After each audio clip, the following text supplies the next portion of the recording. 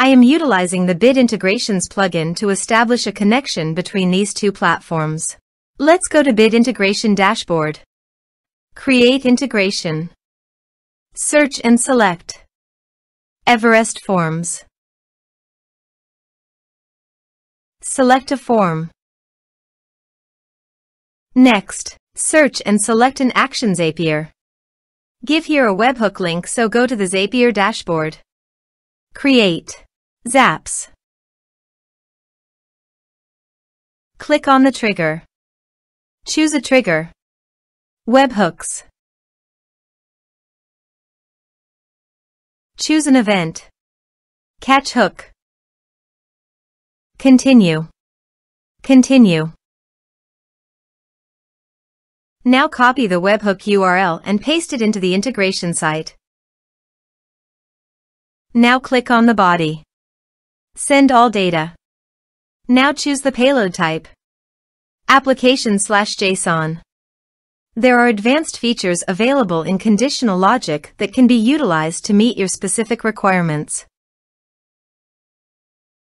Test webhook. Webhook executed successfully. Next. Finish and save it. Now go to the Zapier dashboard. To fetch the data test the trigger. You can now see that the data has been fetched successfully. Choose your required action. I am choosing Woodpecker.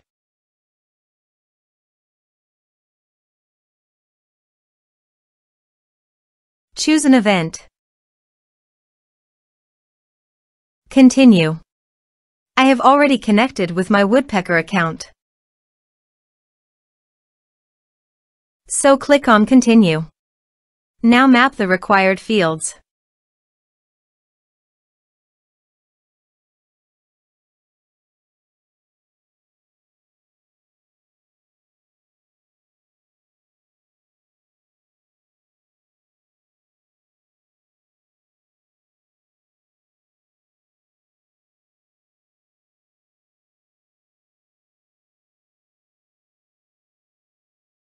Continue.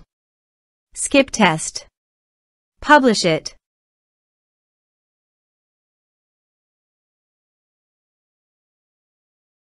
Zap published successfully.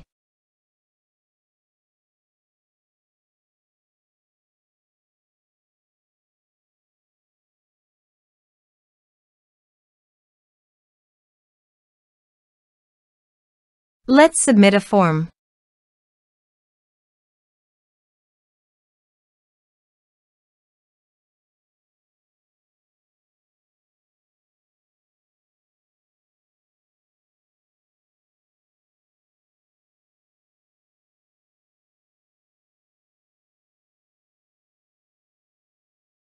Submit the form. Now go to the Woodpecker dashboard and navigate to the prospects. You can see that the data has been successfully received via Zapier.